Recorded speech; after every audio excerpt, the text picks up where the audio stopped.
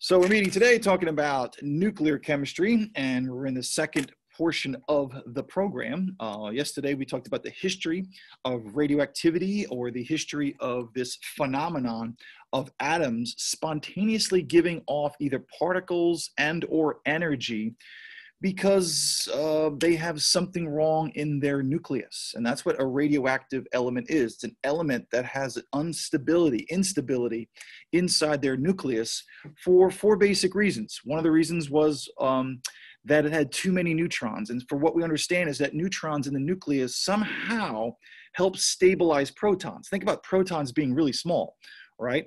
And a lot of them are in a close proximity. What keeps the protons together is the strongest force in nature. And believe it or not, with a lack of creativity, scientists call that the strong force. Now think about positive and positives. But what helps buffer that, we think, are the neutrons. So neutrons do that. And we know that because particles that try to lower the proton number have to be emitted with neutrons. Any case, so we talked about beta emission. The second thing we talked about was um, positron emission. Nuclei, they have two less neutrons or some kind of ratio of neutrons to protons that's healthy and stable. And if you have the wrong number, what's the, the, the nucleus of that atom is going to want to change itself to get stable, okay? And so having too many neutrons and too less for the protons in the nucleus causes instability, okay? And then we talked about uh, overcrowding the nucleus, having too many protons, and that too many protons makes every single isotope, every version of every atom unstable in the nucleus because, well, too many positives in a small area coulombically make it very difficult to keep the nucleus from just breaking apart. And we call that energy that keeps a nucleus together, believe it or not, binding energy. Okay, and that changing of binding energy is where nuclear reactions energies come from okay so that binding energy is the is the basis the change of that binding energy is the basis of all nuclear reactions fission fusion the h bomb or the atomic bomb that we as the united states dropped on um, um, hiroshima and nagasaki uh, japan in world war ii they were about changes in that binding energy. And because the strongest force in nature is based upon keeping positives together in a nucleus, changes of those strongest force in natures gives us the greatest amount of energy changes in these reactions, which are not chemical reactions. These are nuclear reactions. We're not talking about electrons attracting a nucleus or being shared or transferred. We're talking about how well the atom can stick together. That's important. So in any case, I'm gonna share my screen and we're gonna go um, to uh, the uh, presentation that I was working with yesterday, and hopefully I can get there. And I'm either, it's either AP Bio or not. Let's see here. Okay, cool. And we're gonna get to the relativistic heavy ion collider. All right, so any case, let's present from this portion of this program. Uh, present, and here we go. All right. So which element has no known state uh, isotope? I asked you guys to do this part. Obviously it gives you the answers. So I don't know who did it or who didn't do it, but I'm just gonna go through it anyway and talk over it. How do you know which element has no known stable isotope? How do I know that there is no version of that element that is not stable? We know that carbon 14 is radioactive. It's a beta emitter, okay? Um, why? Because it has two more neutrons that it's supposed to, makes it unstable. So it changes this neutron number. But we're talking about, we know that carbon 12 is stable. It has a good ratio of neutrons to protons. We're talking about, so in the case of carbon, um, it does have a stable isotope. But we're talking about which one of these has no unstable, uh, no known stable isotope. Every version of that element everyone with different number of neutrons is unstable, well, that's where you have the overcrowding of the nucleus. We're looking for elements beyond atomic number 83. And because of having too many protons, it destabilizes that nucleus. It wants to change. So this was a question of recognizing the fact that you had to give me an element that was beyond atomic number 83, and that is polonium, which was discovered uh, or at least uh, I would say, um, yeah, it was discovered, and it was discovered because the Madame Curie or Marie Curie um, knew was radioactive, but had different reactivity in this compound. And so she found a chemical way to separate it. And so she identified this new element by its unique reactivity. And she named it after where she came from, Poland. All right, so polonium is the only element with an atomic number greater than 83. Okay, which type of radiation, okay, when passed through two electrically charged plates would deflect toward the positive? Well, that must be a particle that's negative. And as you should know, the beta particle is negative. It really is a high energy electron that, weirdly enough, comes out of the nucleus. Why? Because a, um, a neutron, which is neutral, is really made up of quarks, okay? We'll talk, well, they're made, made up of, you want to make it very simplified, make made up of a, positive and negative particle that makes it neutral. So it gets rid of the negative particle that makes it neutral, an electron. In truth, there is a neutrino that comes off, all right? And we call that the weak force, actually, uh, how well that can occur. And again, there's a lot of different things, a lot of layers of more theories involved in all of this. And I'm just touching the surface, okay? Uh, I'm a chemist, not a physicist, but any case, I'll do my best. So it looks like I um, somehow showed all the answers here. I'm not sure what happened here, but um, any case, yeah. So that's the beta particle. Okay, number three, in electrical field, which emanation, okay, particle or, you know, radiation is deflecting toward the negative. That's the one that's positive. And the alpha particle is a helium nucleus, two protons, two neutrons. We can't give off protons without neutrons because it stabilizes them, right? Um, and it's an alpha particle and it's positively charged it's a heavy slow particle that you know doesn't penetrate us doesn't penetrate the skin it's not a mutagen we use it in smoke detectors which particle is given off when uh, p32 undergoes a transmutation reaction okay now you say well how do i know this one well we could go to the periodic table and look at phosphorus and we can see phosphorus okay has a average isotopic mass of 31. If you go to your reference table, you'll see that the number for phosphorus rounds to 31. So having one more neutron, you should be able to figure out that's a beta decay. And that's how that works. Or if you don't want to know and understand it, go to table on N. Na na na na, hey, hey, hey, last table for Regents chemistry. And table N will show you the type of emission. Okay, it's a B negative. All right, so if I go to table N here, okay, and hopefully it opens up. Of course it doesn't, bad Grodski, but uh, going back to reality, table N, okay, and we could go back there a couple different ways. I, I should just link it back. But there's table N right here, and I don't have phosphorus shown, but you can see that if you scroll down, you'll see it. These elements or these nucleotides of selected radioisotopes, okay, give their decay mode. And if you go to table O, they show that B negative is a beta particle, B positive is a positron, and this is an alpha particle. So you all you had to do there, party people, was go to um, table N in your reference table.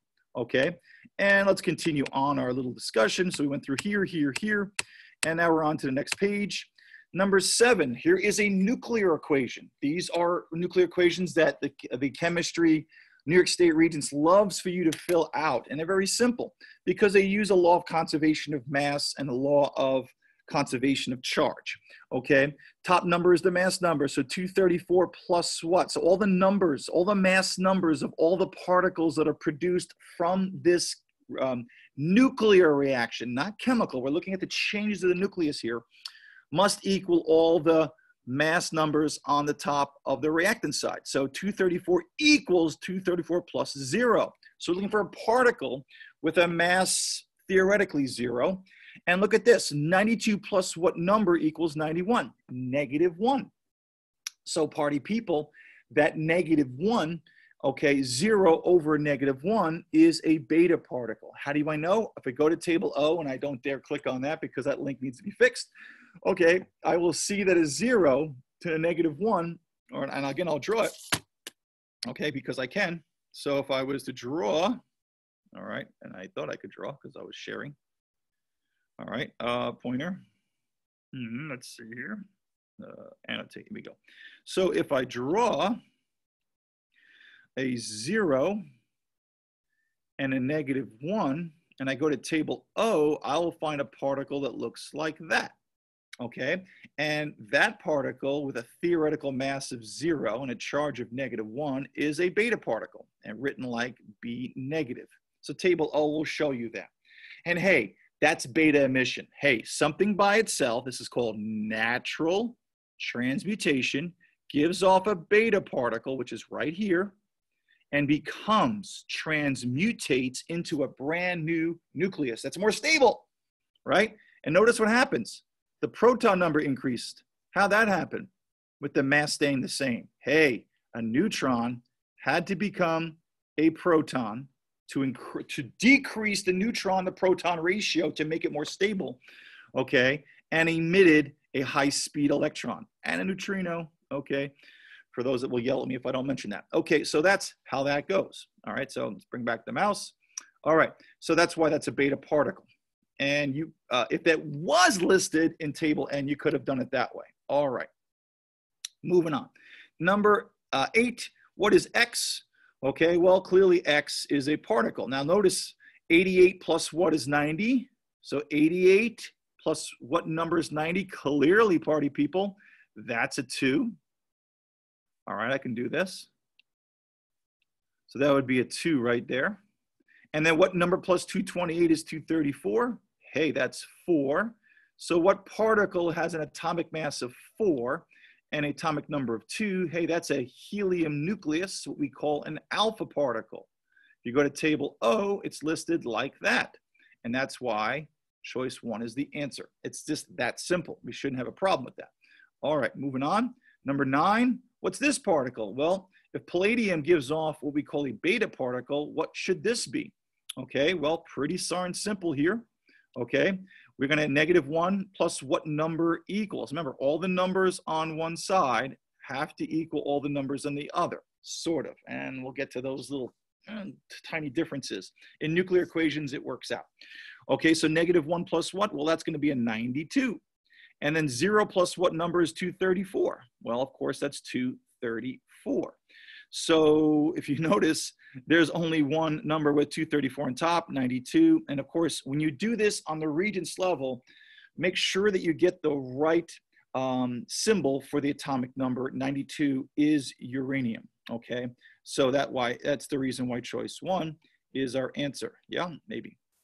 There it is in all of its glory. Okay, so we'll clear all of those guys. And that should have been straightforward. Uh, number 10, as an atom of a radioisotope emits an alpha particle, its mass number of the atom does what?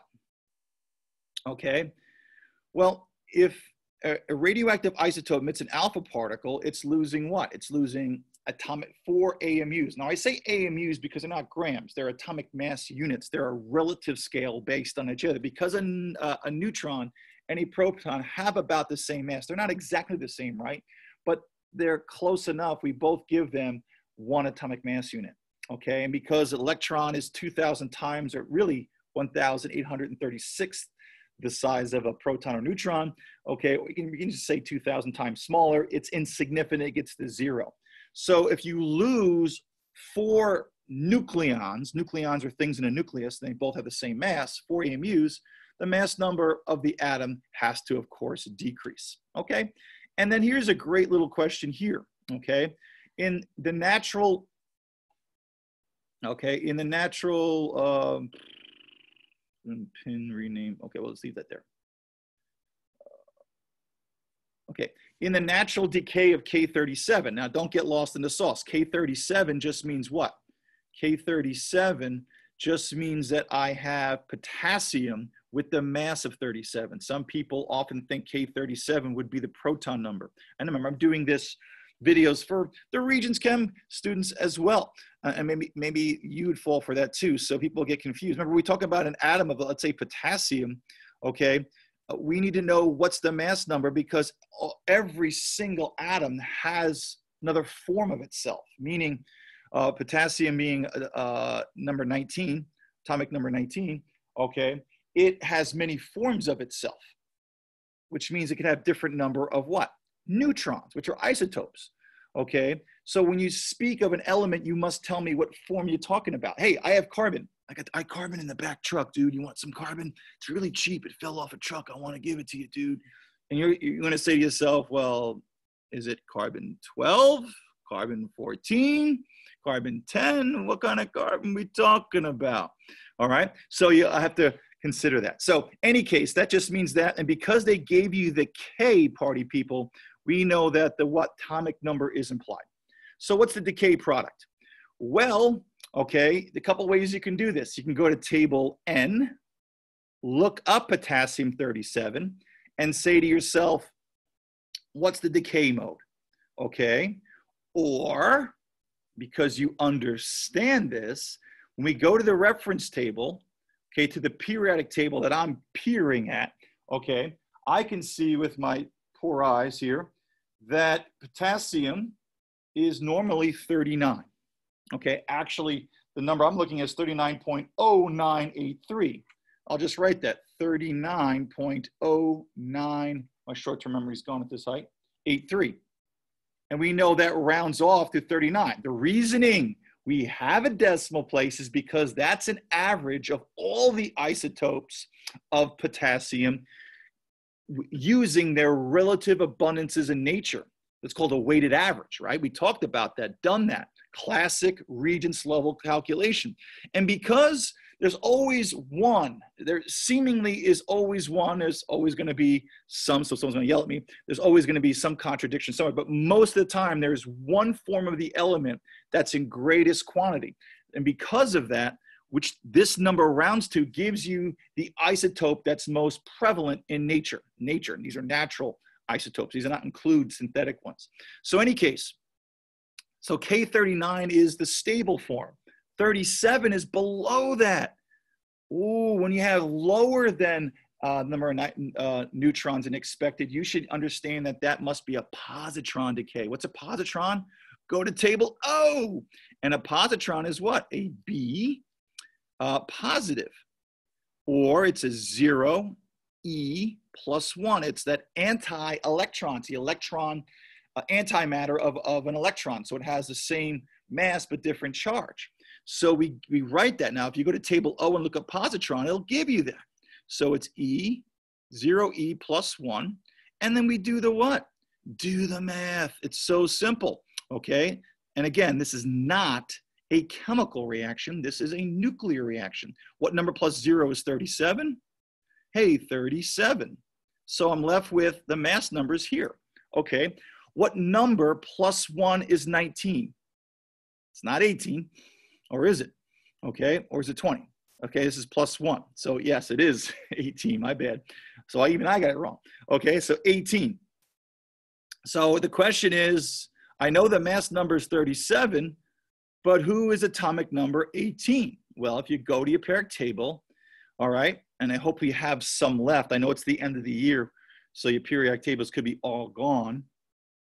Okay, argon, yes. So um, AR is atomic number 18, and that is, of course, your answer.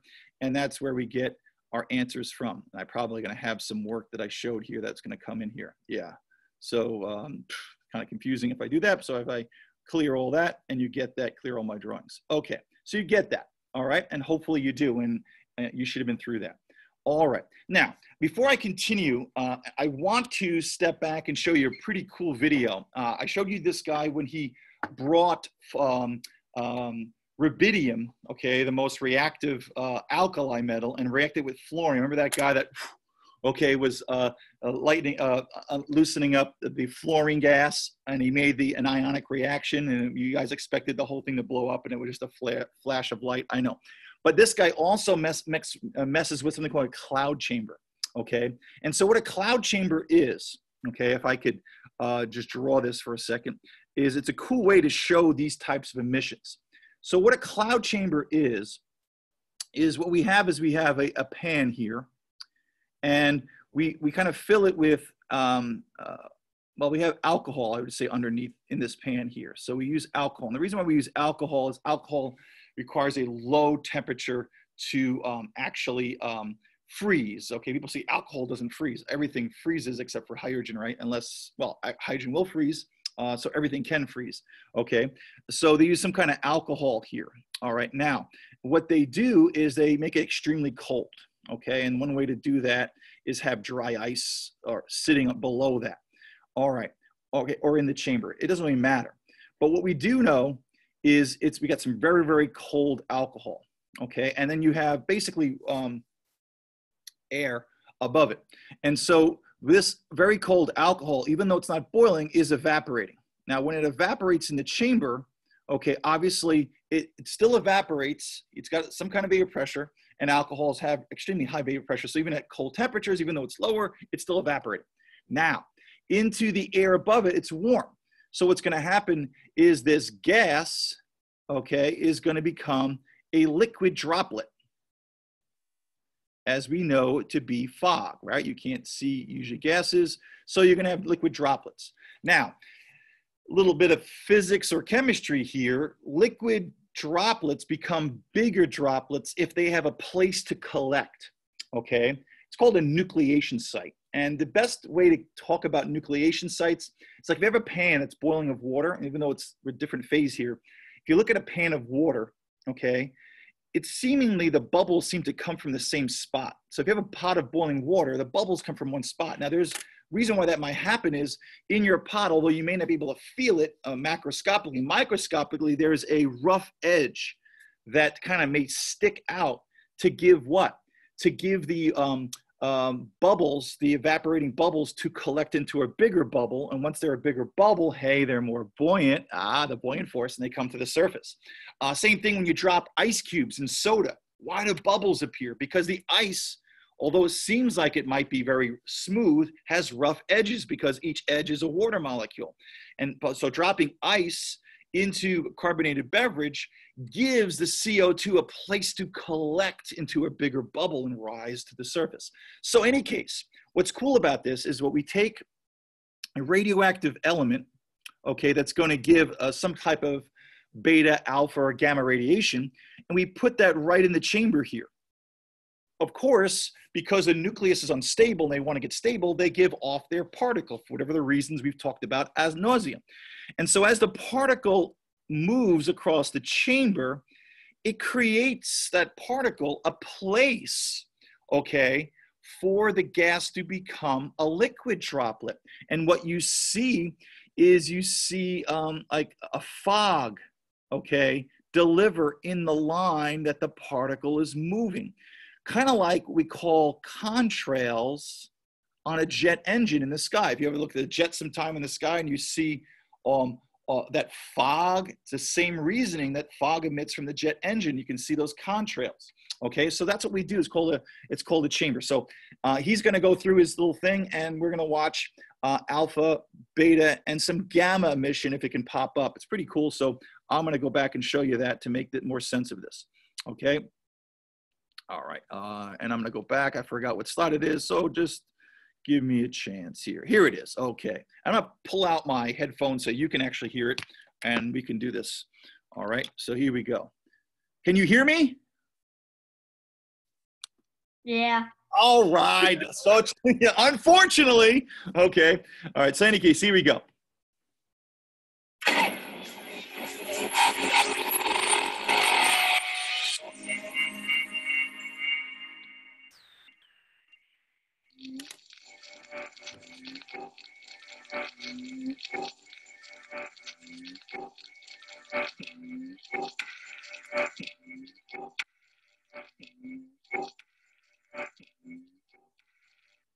So you're you're looking at contrail. So you're looking actually at the at the cloud chamber. Okay, and that cloud chamber is giving you every time you see a line appearing, okay, that's giving you some particle, some background radiation that's actually going through the cloud chamber before the scientist puts something in there. So let's look at that again.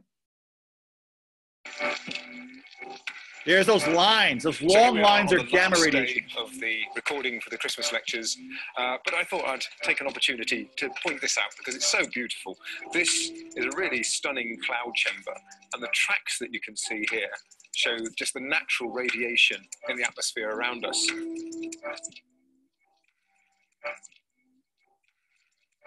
So if we actually have a look in here, you can see sometimes there are, there are thicker tracks, which are big, heavy alpha particles. Sometimes there are little wispy ones, which are beta particles. But all of these, they're all working in the same way. So the atmosphere in here contains a lot of vapor of alcohol, and it's sort of more than it should have. And when these charged particles fire through the atmosphere in here, they cause little droplets to form, and those are the clouds that you're seeing.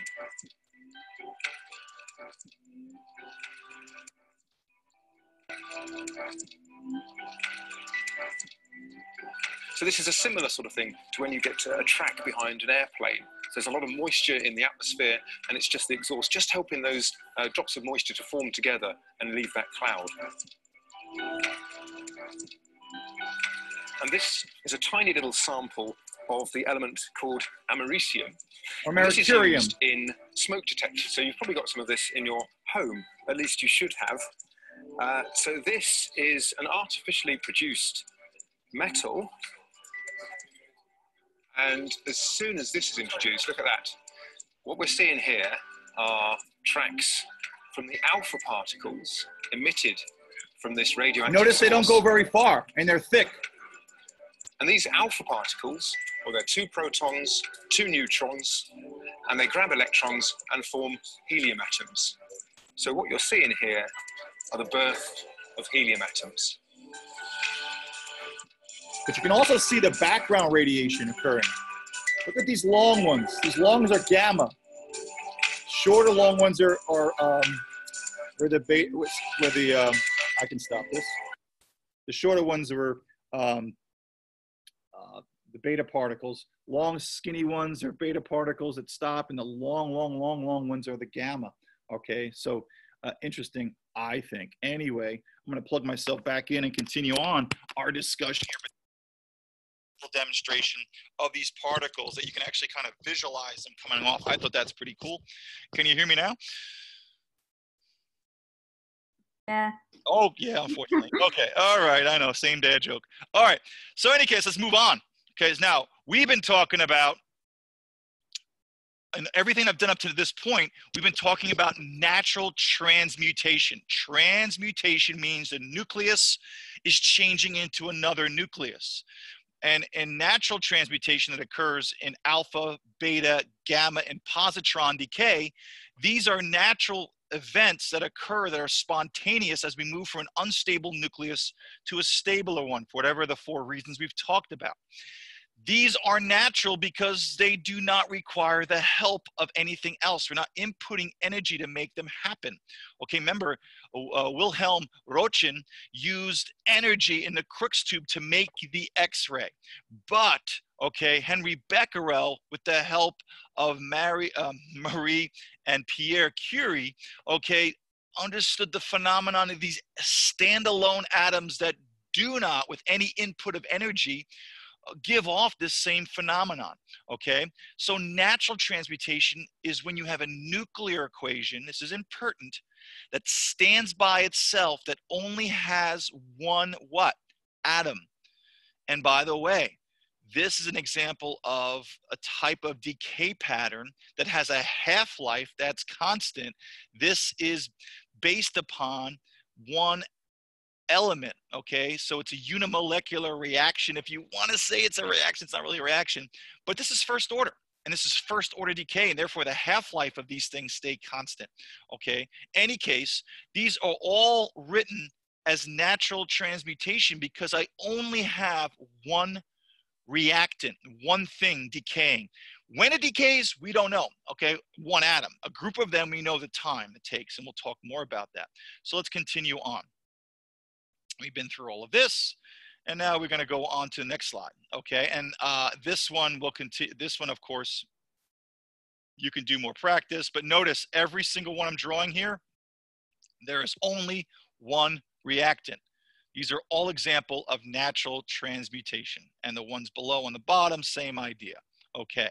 Easy enough i would hope okay? If you if you didn't do the first uh, or weren't with me for the first lecture, then this doesn't make any sense. I'm sorry. Now we move on to artificial. That's why I'm zooming in here.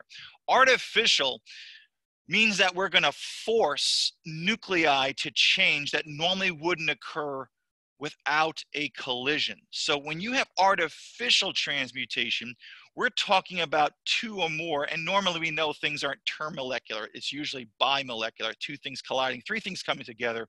It, the chance of that just doesn't seem probable. But the point I'm trying to make here um, is that, not on that slide, is that here we have a nuclear equation where two atoms are here, which means these guys slam together and we force that collision of nuclei to create a new nucleus. This is still transmutation, but it's artificial. And in order to slam nuclei together, you need energy, okay? You need energy because think about that.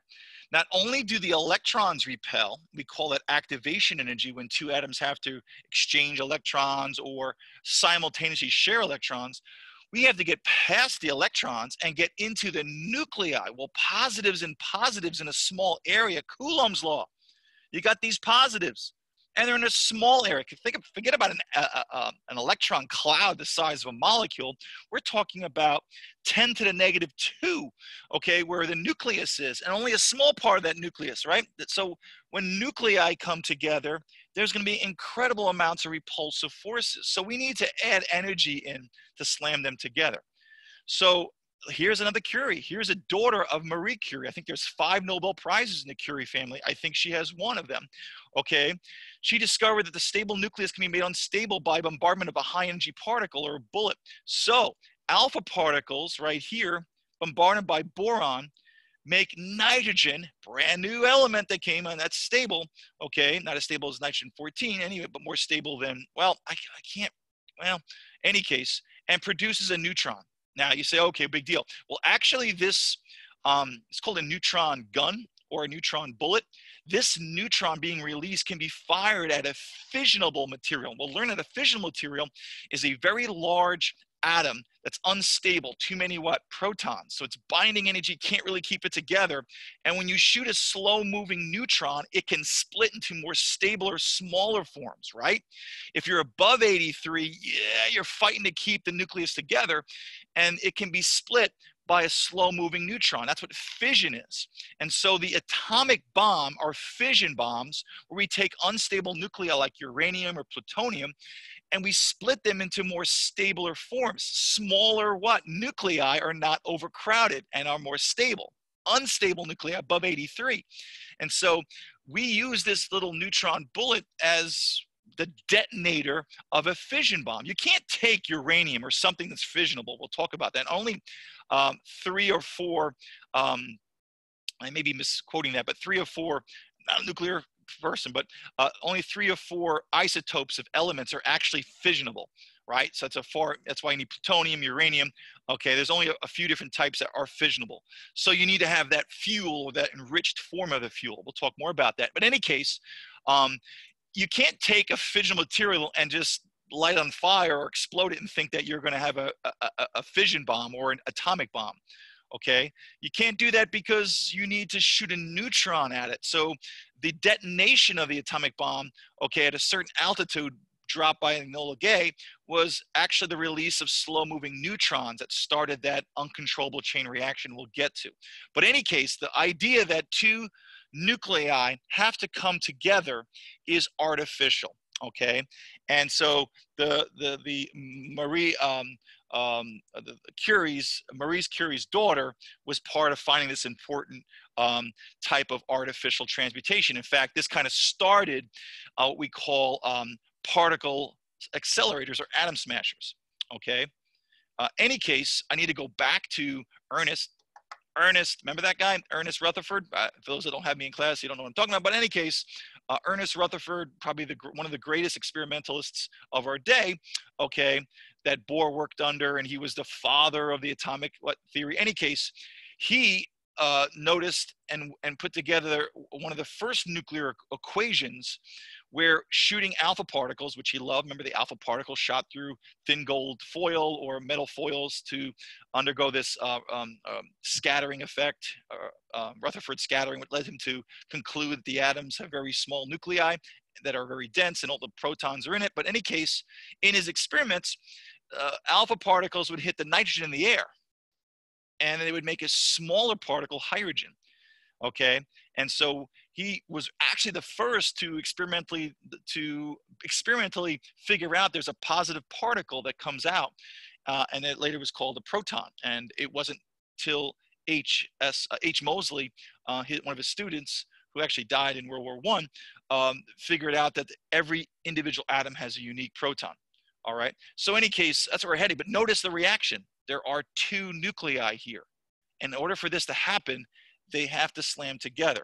Now, the ones that I just showed you don't require a lot of energy, right? Uh, uh, uh, this hits this and this happens. And um, this examples that I've just showed you don't require a tremendous amount of energy. But most other artificial um, collisions or particle to particle collisions and we require a physicality, require a piece of equipment that's going to generate energy to smash or put these nuclei together. And so we call them particle accelerators or we call them atom smashers. Okay. Now, we're from Long Island, and so how can I not talk about the Brookhaven National Lab, which has something called the Relativistic Heavy Ion Collider? Okay, very famous for the things that it found. Now, there are a bunch of other colliders, okay? But the bottom line is that we change nuclei okay by smashing atoms and and you say well why did we do that okay why why is there the brookhaven national lab which has the relativistic heavy ion collider called the RHIC we also know that there's the fermi lab that's a much older lab in chicago area um, that actually uh, was the home to the first nuclear uh, controlled reaction i think um, fission reaction was done there in a squash court if i'm not mistaken um, but in any case why did we smash atoms? Well, we understood that when we smash atoms, we can actually put energy into the equation. And by smashing them, we actually come up with fundamental particles. We get smaller particles. And so we discovered something called quarks. Okay, and we discovered six quarks the up, down, charm, train, charm strange top bottom, we, we understood that the protons, neutrons, electrons actually are made up of smaller particles called these quarks. So smashing particles led us to come up with smaller fundamental particles and understanding what nature is made up of. And then as we added more and more energy um, to uh, our particle to particle collisions, we got more interesting information. Remember the Big Bang Theory or the Standard Model. These are all physics types of theories based upon how matter behaves and also where matter came from, right? The idea that we all came, that the universe started, it's hard to grasp these understandings, and I'm not anywhere near the person that should be discussing them or at least having a long winded conversation about them. But I'll give you the, the, the basics here is that a, a great amount of energy in the universe became the matter. Somehow energy became matter. Okay, and that's how the start of the universe. It's called the Big Bang. Okay, uh, theory. And so, what's interesting about when you start adding a lot of energy into the atom smashers, physicists can peer into the future of how the universe worked. Well, wait a minute, how do they do that? Well, if you take matter that exists today and you smash it together, what you get are smaller and smaller and smaller particles. And these images that you see here, okay, uh, from the Brookhaven National Lab show these different particles that came out of them based on their light, based upon their um, way that they behave. Okay, they can figure out what they are and how. And uh, when I say going back in time, remember we started with energy and we became particles. Well, if we go, if we do this opposite, take the particles and smash them, then they get into smaller particles. We can peer into what they look like before they became the current particles. Now, what happens is this stuff slams, makes these tremendously amount of different things, okay? And it doesn't last very long because they recondense back into matter. So it's a small, small event with tremendous, tremendous high energy.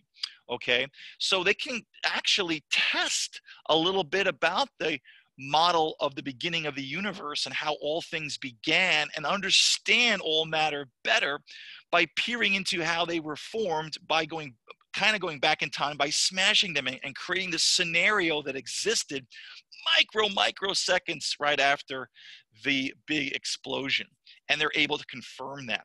And so the brookhaven national lab okay very famous today because um, it's got a again the heavy ion RHIC or the relativistic heavy ion collider. Relativistic just means that we can move okay the particles want to smash at percentages are very close to the speed of light. The word relativistic means um, at or some proportion to the speed of light okay?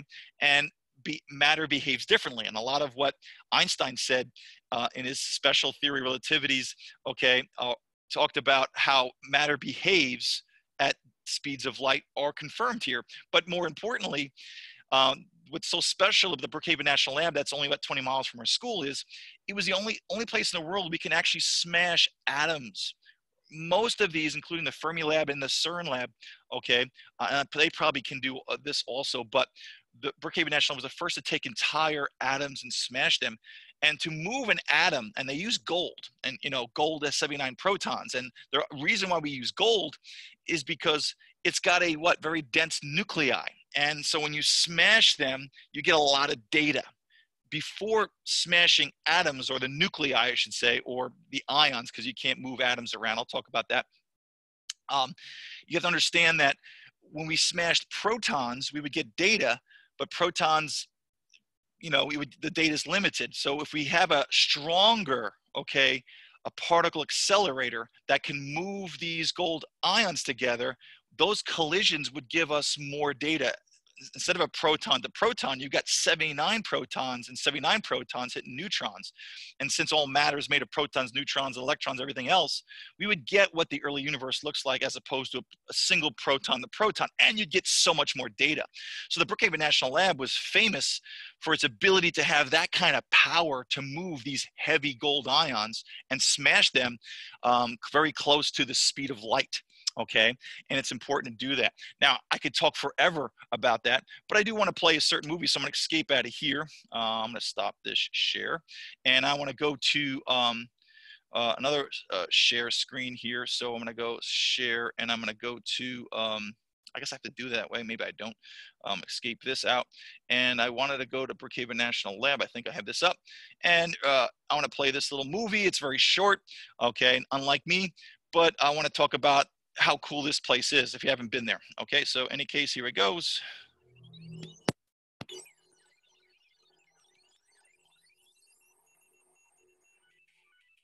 Where I grew up in the mountains outside of Portland, Oregon, I could look up in the sky and see thousands and thousands of stars in the night sky. And I would wonder, where did all this come from? I find it amazing that I can rewind the clock and go back and look at what existed in the universe before any of those stars were even created and we can recreate the conditions of the early universe and we can study the force that holds together that matter. I guess V-necks are cool at Brookhaven National Lab, not really sure. Okay. As well as all of the matter that exists in the visible universe today. I'm Paul Sorensen. We're in the main control room of the Relativistic Heavy Ion Collider, an atom smasher at Brookhaven. National. Now, this is the ring. I believe it's a three mile ring. And it's underground because you don't want to have cosmic rays and any other types of things to affect the collider. What's interesting about the collider is that um, it was built on older colliders. That's really cool about the Brookhaven National Lab is that to get speeds up to the speed of light to move these heavy ions, and it's a small amount, but they're still heavy as compared to protons. What they did is took the older um, um, particle accelerator. They had, I think, three other older particle accelerators that were using, obviously of low energy, and they connected. They connected them, okay, um, and that connection of the older ones to the new gave the boost for the main ring now to do its work. National Lab. From this room, we steer ion. There it is. So there's a um, Graaff accelerated and show that. This goes to the asynchronous uh, one. That's this one actually has two or three Nobel prizes on it. So there's an older Van de Graaff that they didn't show that that pumps into the um, I forget the exact name of this one of this ring that's a little older. Okay, that was doing some work, and then the boost from this older one, Van de Graaff one, to this asynchronous one, and this one gives it the boost before it goes into the the the, the RHIC. So there's older, the kind of they use the older technology to boost up the speed of these uh, ions, and that's what gives RHIC its its its unique ability to move something as heavy the speed of light. runs Around a 2.5 mile circular track and smash them together at nearly the speed of light. And notice the ring was going in opposite directions until they smashed them. And these are the these are of course the gold ions. And it's important to recognize and it's important to know for Regents chemistry, is that you cannot accelerate atoms. When I say atom, you say neutral. And so what moves these guys essentially are electromagnets, right? So what we have in a tube is we have incredible amounts of magnets. So you have to have something positive or negative. So in this case, we have gold ions, which are positive. And so if we want to move this ion forward, we make this electromagnet negative, right? And so it moves forward, positive attract negatives. Now, as it moves past this, this magnet now becomes positive, so it repels, and the magnets in front become what? Negative. And that's how we accelerate and move these guys. So computers and electromagnets, okay, do this. This would not work, okay? You cannot accelerate a neutron, you can't accelerate atoms. You have to have charged particles, okay? Because moving charged particles create a magnetic field, and you could play with that field to attract or push or those kind of things them forward. And that's important. When we collide the ions, it creates a fireball that only exists for one billionth of one billionth of one millionth of a second. A very, very brief amount of time. And the fireball is only one billionth of one millionth of a meter across. This is a very short lived and a very small speck of matter. But with the detectors that we have, we can. Okay, look at the size of the person here. There's a person, okay? And so this stuff is happening in a small, tiny little tube and look at these detectors. They're huge. Sometimes some of these detectors are three or four stories tall, okay, around one of those collisions. And those detectors are looking for different things. I can play this maybe. Look at all of the remnants that come flying out from those collisions, and we can trace them back, and then look at the patterns of how they come out to try to understand what the matter was like that created all of them. One of the most amazing things that we've discovered at RHIC is that this matter that we recreate is very much like a liquid as opposed to a gas, which many people thought it would behave like before. So it's amazing that this matter, which is 250,000 times hotter than the center of the sun, actually behaves a lot like a liquid. This now that was a major, major find. Okay, remember, nobody ever smashed so much uh, particles together. Colliding uh, uh, having the power that the RHIC had that no other collider at the time had okay gave us something that we never expected to happen. Colliding so many neutrons and protons and so much data we expected that the quarks and gluons muons and whatever particles neutrinos whatever other you know pieces of particles there um, would became behave like a gas. It's four trillion degrees in those little collisions. Well, things with that kind of kinetic energy are gases, but these particles stuck together like what? Like a, a hot quark gluon soup. They stuck together. There was some kind of force of attraction there. And that led us to believe that there's things going on that we did not expect. Okay. And I'll let them talk a little more, but this opened the door for other particle accelerators. So uh, there is certainly more to this, what they discovered, than I am touching on. I'm just a layman's view of what's going on here. Remember, there's many, many different experiments. What's interesting about these particle accelerators, they run the experiment then for nine months later, they're still looking at data to figure out what's going on. So they run this experiment, but it takes maybe up to a year or uh, three quarters of a year sometimes to discern what exactly went on when they trace every single particle. But no matter what, we found from the RHIC, most important, one of the most important things is there's asymmetry. There's you don't expect to be that hot and stick together. Well, why are they sticking together? Why is the early universe not a gas? Why did it stick together? Well, there must be something at play here. Okay, and that's where we kind of move toward that Higgs boson theory, but I'll, I'll continue here. This is what the early universe was behaving like, so we're really peering back and looking at that. This fundamental research brings together some of the smartest people in the world to try to solve some very difficult technological problems. How do you accelerate these gold nuclear? Right, so there's the two, right? So there's the two with electromagnets, I think, inside, and that's the that's the ring that's it's below ground. Kind of cool. Okay, if you've never been to Brookhaven National Lab. For example, up to such high energies. How do you detect what's coming out from all of the collisions? How do you analyze all the data that's coming out? This leads to advances in superconducting magnets. It leads to advances in detector technology, and it leads to advances in computing. This is also where the next generation of scientists will be trained. And who knows what they're going to go off and do and discover with the knowledge that they've gained at RHIC. Okay. Um, so what the RHIC um, opened the door for was that there was some of some asymmetry. Now the asymmetry I'm talking about is it didn't expand out, okay, like a gas, even though it looks like that here. It, it stayed together as a quark gluon soup.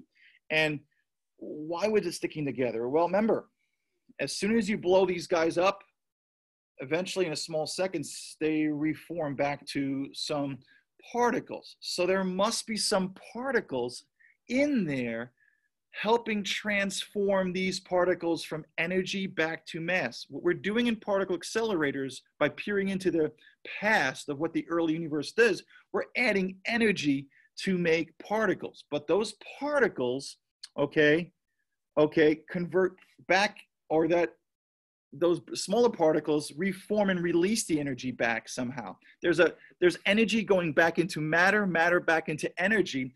So this kind of asymmetrical kind of sticking together that was going on led us to believe that there's other particles at play helping us go from energy to particles and particles to energy. And that's where the Higgs field or Higgs boson comes in. They didn't discover it, but part of what they discovered led them to believe that their earlier models of the universe were confirmed. And this 1960 idea that there's a Higgs field, that when something goes through that field and affected by that field, gives it its mass. Energy can be converted to mass by these bosons. And Higgs was one of the scientists who proposed that when he was working with the mathematics of uh, one of the models of the universe. I'm not, um, you know, understanding of all of that, okay, as a chemist. All right. So, any case, let's continue on. We're not going to go too much further, but um, so these are nice reactions. These are nice little videos that go through what's happening. Okay, at the um, the um, the RHIC. Okay, and then of course, what made big news in the uh, early 200s or later to 2008, I guess, is the LHC, the Large Hadron Collider, which is on the France-Switzerland border. I don't know how many billions of dollars is used to build this huge collider.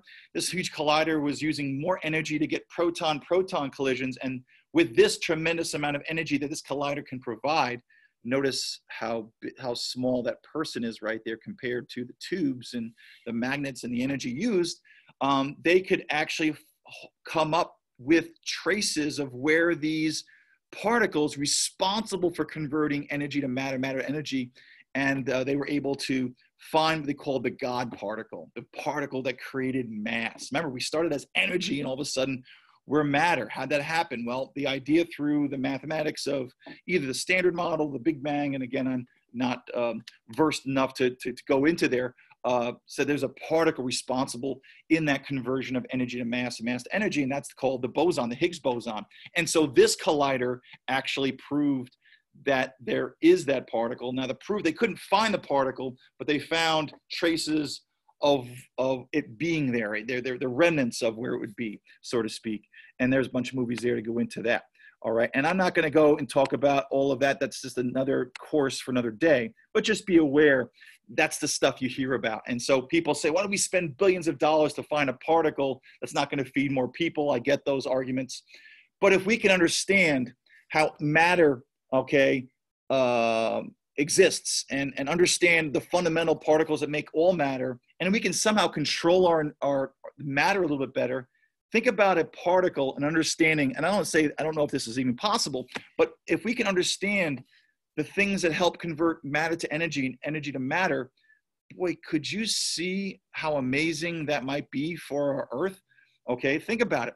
If I took a glass of water and converted all the energy of the water every single atom of energy, we could run New York City for 80 years in a glass of water. Okay.